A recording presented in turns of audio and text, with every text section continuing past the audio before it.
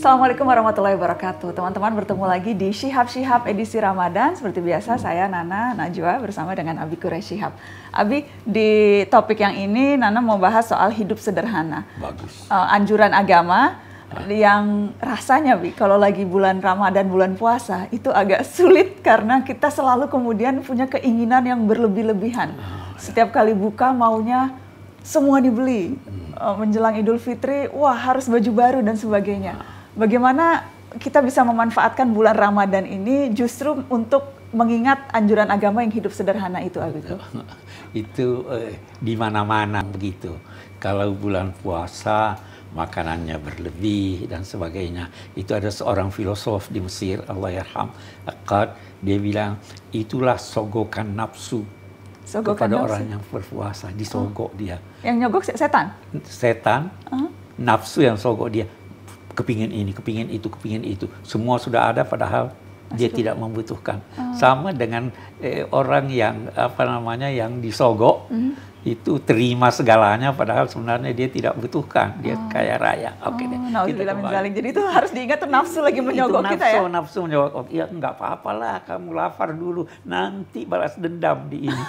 ya kan? Itu itu itu kata Abbas al Aqad orang he- hebat sekali. Oke, kita kembali. Eh, agama menganjurkan kesederhanaan. Ya. Apa itu kesederhanaan? Bukan berarti berkurang. Kesederhanaan itu tidak berlebih dan tidak juga berkurang. Nah, eh, anjuran agama untuk sederhana atau hidup sederhana ini mencakup segala aspek kehidupan. Jalan pun dianjurkan sederhanalah. Waqsud fi masyika. Jalan apa maksudnya? Jal- berjalan Aha. eh, sederhanalah kamu dalam berjalan diingatkan kakimu tidak mampu menembus tanah kepalamu tidak mampu menjangkau langit jalan sederhana ah, jadi berjalan sederhana tegas dan ini jangan sombong tapi jangan juga eh, eh, ini satu orang dilihat oleh Sayyidina Umar jalannya begitu mau menunjukkan mungkin dia apa namanya ulama beragama hei anak muda bangkit. Saya tidak senang kamu berjalan seperti ini. Nah, makanan juga begitu, pakaian juga begitu. Jadi dia tidak melarang kita memakai yang bagus. Pakai yang bagus. Bahkan ada perintah eh, peringatan Nabi bahwa Tuhan senang melihat hambanya yang menunjukkan kepada orang lain nikmat Tuhan yang diperolehnya. Anda bisa memakai pakaian yang indah, pakai pakaian yang indah. Oh, Allah senang kalau kita Allah menunjukkan apa menunjukkan. Ah, Ada orang yang pelit terhadap dirinya. Oh itu salah. Tunjukkan.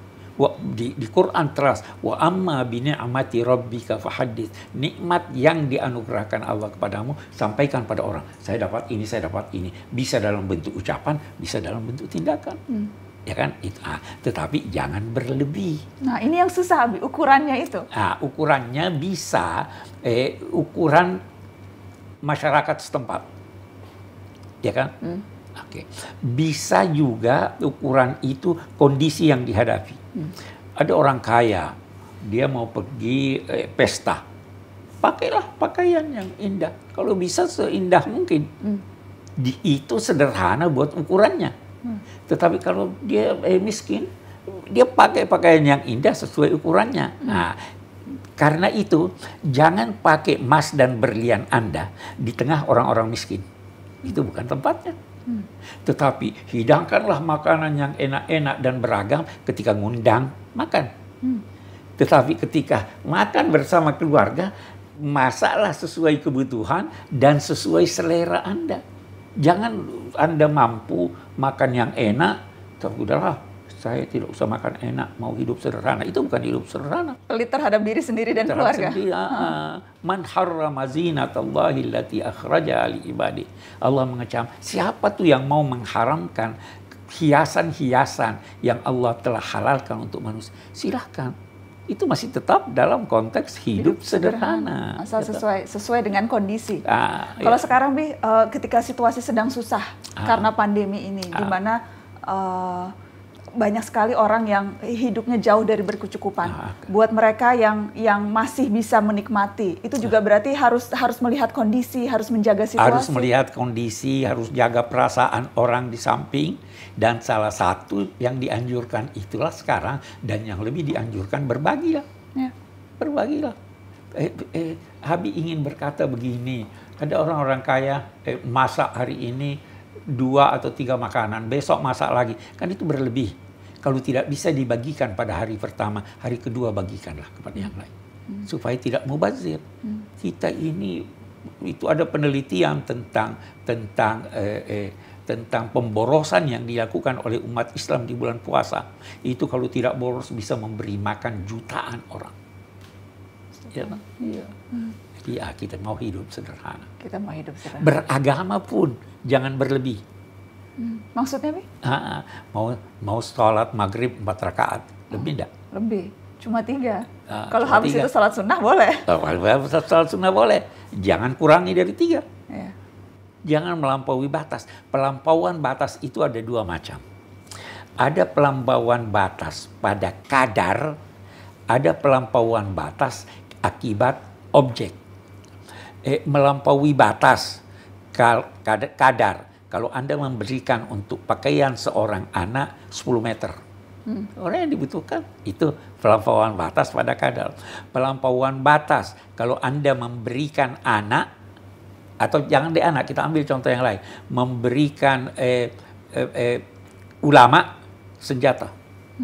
Itu tamsir dia nggak bisa gunakan. Ya. Ah, ah, jadi kita harus hidup sederhana lihat objeknya. Ini siapa Ya. berapa kadar yang dia butuhkan jangan berlebih jangan berkurang itu sederhana Tidak berlebih, tidak berkurang. tidak berkurang Tidak berkurang. Jadi yang mau buka puasa, kita sebentar lagi buka puasa, ingat secukupnya saja. Kalau ada berlebih, kirim ke yang lain. Terima kasih teman-teman sudah menyaksikan. Assalamualaikum warahmatullahi wabarakatuh.